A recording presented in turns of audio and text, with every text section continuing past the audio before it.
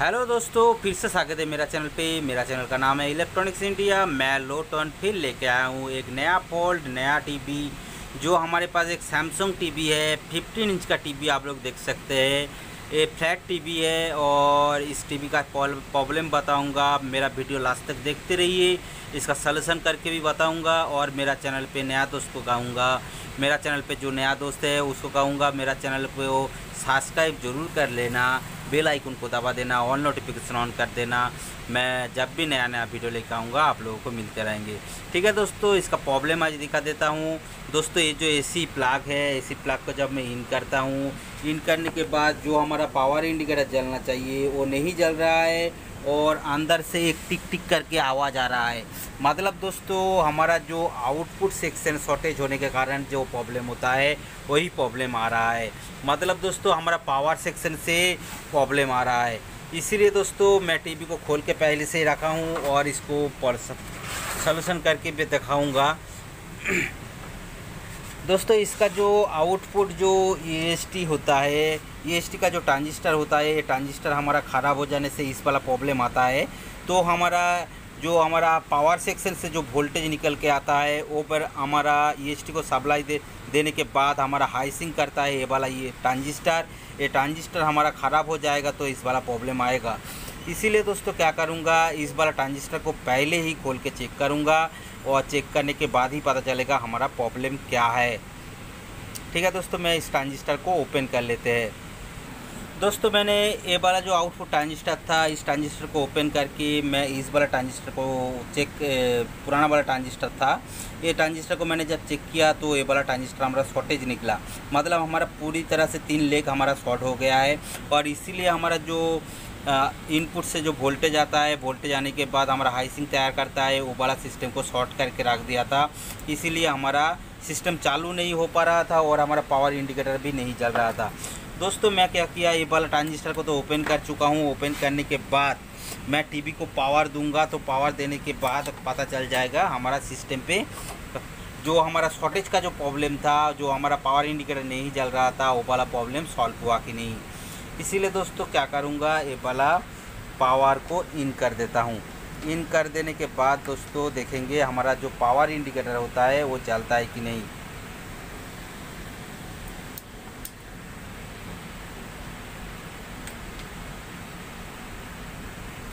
दोस्तों हमारा जो पावर इंडिकेटर है प्लग इन करने के बाद भी हमारा अभी तक पावर इंडिकेटर नहीं चल रहा है। मतलब दोस्तों, अभी तक हमारा प्रॉब्लम रह गया है। उसके बाद मैं क्या करूँगा, ये जो हंड्रेड एक हंड्रेड वाट लैम लूँगा और लैम लेने के बाद मैं क्या करूँगा, इस वाला जो सिस्टम है, जो हमारा one ten volt one twenty five जो वोल्ट का जो कनेक्शन है, ये वाला कनेक्शन इसको कनेक्ट एक हंड्रेड वाट लैम्प को इस कैपेसिटर पे कनेक्ट कर देंगे। तो पता चल जाएगा हमारा पावर सेक्शन से कितना वोल्टेज निकल रहा है और सही तरीके से निकल के आ रहा है कि नहीं। इसीलिए मैं क्या करूँगा, इसको कनेक्ट कर लेते हैं। दोस्तों, मैंने ये हंड्रेड और लैम्प को कनेक्ट कर चुका हूँ। कनेक्ट कर देने के बाद मैं टीवी को पावर दूँगा पावर इन करता हूँ। इन करने के बाद दोस्तों, देखिए, हमारा जो पावर पावर लैम्प लगाया हुआ है हंड्रेड वाट के लिए हंड्रेड वाट लैम्प लगाया हुआ है जो वन ट्वेंटी फाइव वोल्टेज पे। वो देखिए, हमारा वोल्टेज अप डाउन हो रहा है। मतलब हमारा पावर सेक्शन से भी कुछ प्रॉब्लम आया है और इसीलिए ये वाला प्रॉब्लम दे रहा है। मैं क्या करूँगा, इस पर 125 जो वोल्टेज होता है, वो वोल्टेज को पहले चेक करेंगे। इस वाला पॉइंट पे हमारा वोल्टेज होना चाहिए। 125 110 वोल्ट जो भी होता है। देखिए दोस्तों, हमारा वोल्टेज अप डाउन हो रहा है। कभी कभी 40 वोल्ट तक हो रहा है, कभी 110 वोल्ट हो जा रहा है, हो जा रहा है। लेकिन दोस्तों, हमारा इस वाला जो प्रॉब्लम रह गया है, इसीलिए हमारा ई एस टी पे कोई सप्लाई नहीं जाएगा और हमारा ये वाला आउटपुट ट्रांजिस्टर ख़राब हो जाने से बाद ही ये वाला हमारा पावर सेक्शन का प्रॉब्लम आया है। इसीलिए क्या करूँगा, ये पावर सेक्शन को अच्छी तरह से चेक करना पड़ेगा और चेक करने से पता चल जाएगा।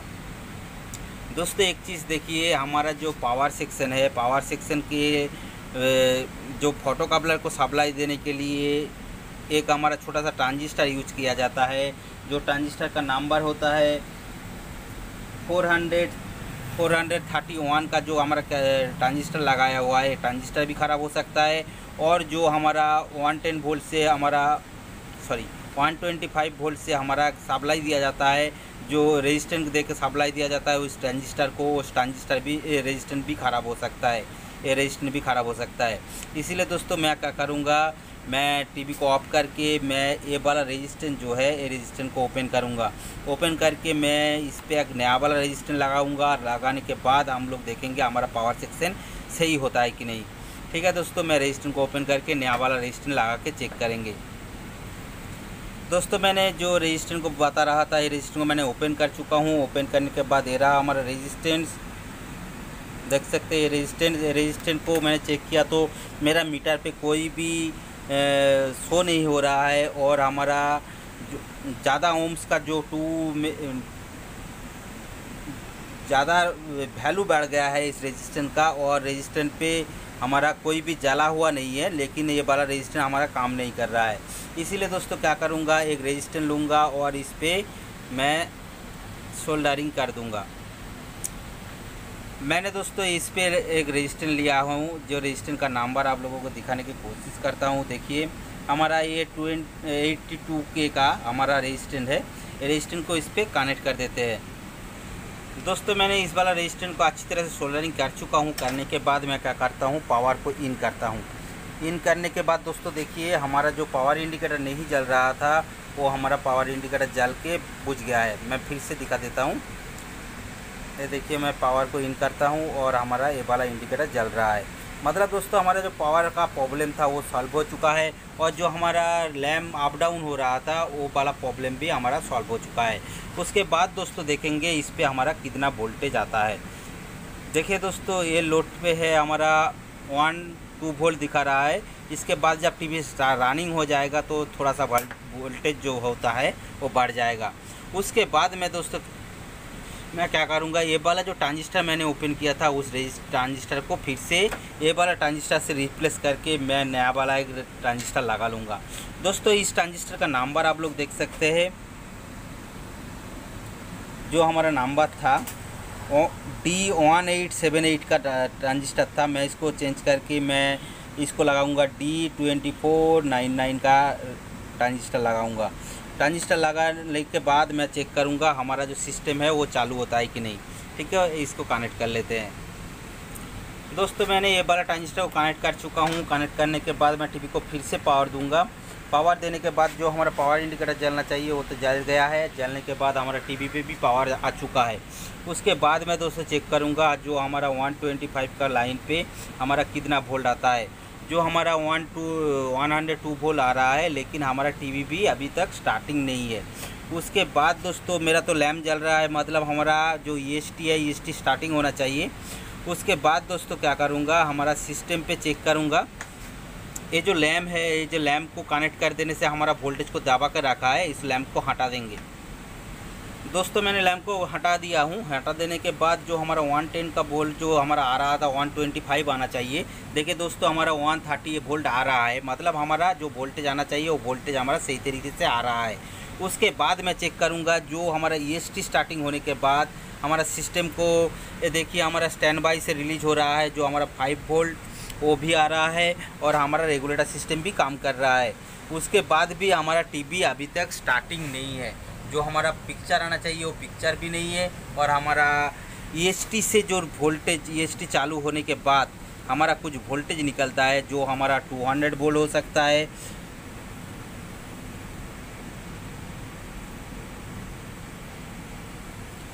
One eighty five one eighty five इसका वोल्टेज निकलना चाहिए दोस्तों, ये वाला डाइट के बाद में।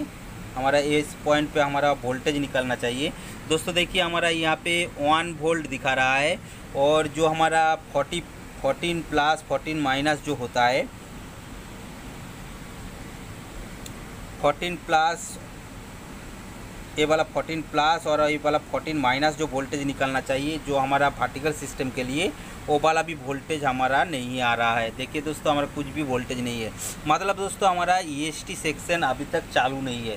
उसके लिए दोस्तों क्या करूँगा? हमारा हॉरिजेंटल सिंक जो होता है, वो चालू होता है कि नहीं? चालू है क्या नहीं?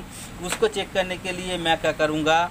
एक एलईडी लैम्प लूँगा। एलईडी बल्ब जो होता है एलईडी बल्ब लेके इस पॉइंट पे मैं कनेक्ट कर दूँगा। जो छोटा सा जो हॉरिजेंटल कॉयल होता है, ये वाला छोटा सा हॉरिजेंटल कॉयल इस पर कनेक्ट कर दूँगा। कनेक्ट कर देने के बाद देखूँगा हमारा एलईडी जल गया तो हमारा हॉरिजेंटल सिंक निकल रहा है। नहीं तो हमारा हॉरिजेंटल सिंक का कोई भी आता पता नहीं है और हमारा आई चालू नहीं हो रहा है, इसीलिए। ठीक है दोस्तों, इस पर एल को कनेक्ट कर देते हैं। दोस्तों, मैंने एक एलईडी लैम्प को लेकर कनेक्ट कर चुका हूँ और मैं टीवी को पावर देता हूँ। पावर देने के बाद जो हमारा पावर इंडिकेटर जलना चाहिए वो तो जल गया है, लेकिन अभी तक हमारा जो एलईडी जलना चाहिए वो हमारा हॉरिजेंटल सिंक चालू नहीं है। इसीलिए क्या क्या चेक करना पड़ेगा? जो हमारा हॉरिजेंटल कॉयल पे, इस पॉइंट पे हमारा 12 वोल्ट तक होना चाहिए, वो वाला वोल्टेज नहीं आ रहा है। देखिए दोस्तों, हमारा कुछ भी इस पर हमारा वोल्टेज नहीं है।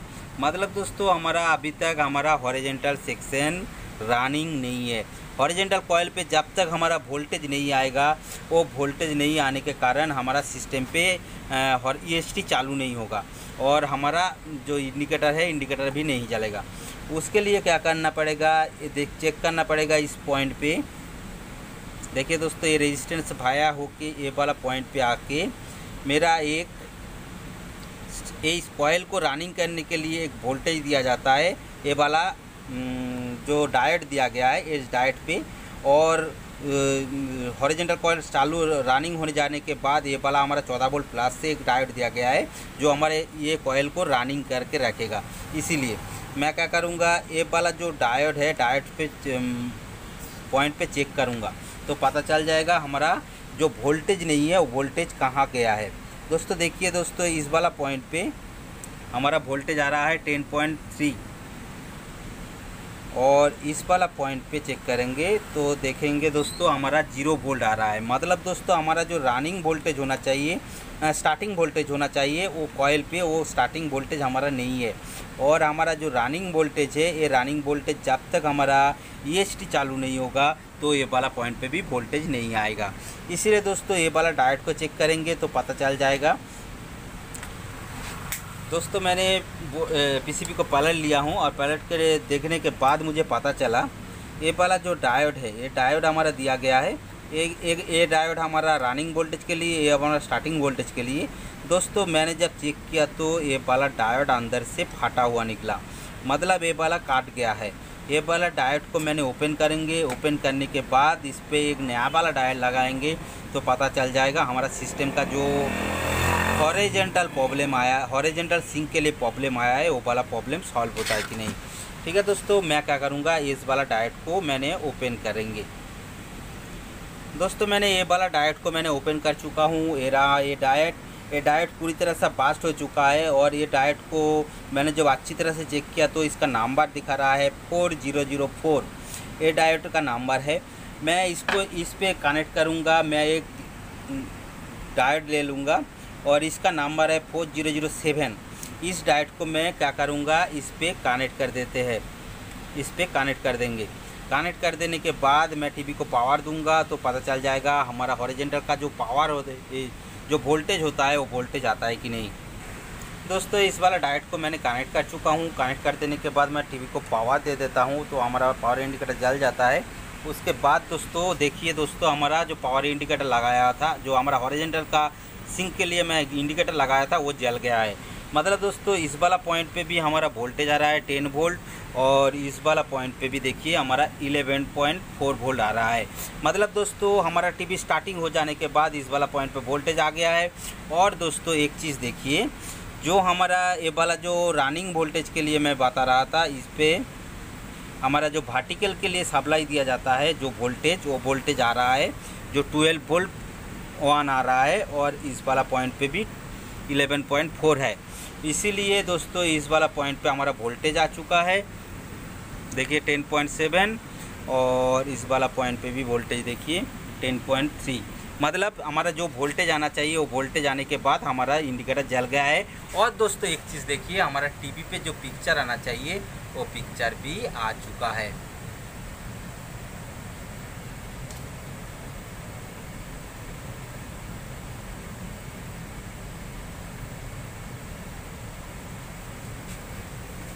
देखिए दोस्तों हमारे टीवी पे पिक्चर आ चुका है। मतलब दोस्तों, हमारा जो प्रॉब्लम था, वो सॉल्व हो चुका है। और एक बार फिर से मैं बता देता हूँ कहाँ कहाँ पे प्रॉब्लम था। दोस्तों, हमारा जो टीवी पहले आया था, टीवी को आने के बाद मैं देखा तो हमारा जो 125 का जो वोल्टेज होता है, वो वोल्टेज पूरी तरह से शॉर्ट होके बैठा गया था और हमारा जो आउटपुट ट्रांजिस्टर था, वो ट्रांजिस्टर हमारा ख़राब हो चुका था। इसीलिए मैं नया वाला ट्रांजिस्टर लगाया है। उसके बाद मैं देखा हूँ, क्या हमारा जो 125 का जो वोल्टेज निकलना चाहिए था, वो वोल्टेज वोल्टेज हमारा अप डाउन हो रहा है। इसीलिए मैं क्या किया, इस वाला जो रजिस्टेंट था, वो रजिस्टेंट को मैंने ओपन करके नया वाला एक रजिस्टेंट लगा के हमारा वोल्टेज को सही कर दिया हूँ। उसके बाद मैं टीवी को जब स्टार्टिंग करने की कोशिश कर रहा था तो हमारा टीवी के जो हॉरिजेंटल जो कॉयल होता है कॉयल पे कोई वोल्टेज नहीं था और इसीलिए मैं चेक किया तो ये वाला डायोड हमारा ख़राब निकला। ये डायोड को मैंने फिर से नया वाला लगा चुका हूँ और लगाने के बाद हमारा टीवी पूरी तरह से चालू है। और हमारा जो प्रॉब्लम था, वो प्रॉब्लम भी सॉल्व हो चुका है। मैं क्या करूँगा? टीवी को ए को कनेक्ट करके मैं आप लोगों को पिक्चर दिखा देता हूँ। दोस्तों, मैंने ए कॉर्ड को कनेक्ट कर चुका हूँ और टीवी को पावर दे देता हूँ। हमारा पावर इंडिकेटर नहीं चल रहा था, वो पावर इंडिकेटर भी जल चुका है और हमारा टीवी भी स्टार्टिंग है और हमारा टीवी पे पिक्चर देखेंगे।